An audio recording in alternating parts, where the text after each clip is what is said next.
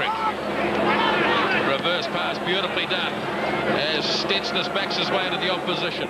Randell was first there. Shoveled on. Clever stuff. Cullen. Umaga back inside. Now the run's on for Zinzan. Carlos Spencer's got the legs. And the All Blacks finish with a beauty. Carlos Spencer.